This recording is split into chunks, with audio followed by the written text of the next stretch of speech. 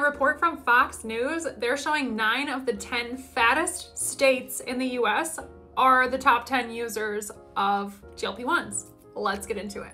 So, here is the list of the top fattest states in the United States West Virginia, Kentucky, Louisiana, Oklahoma. All above 20% of their population is obese, considered obese by the BMI. But they also found that in all of these states, the usage of GLP 1s is over 15%.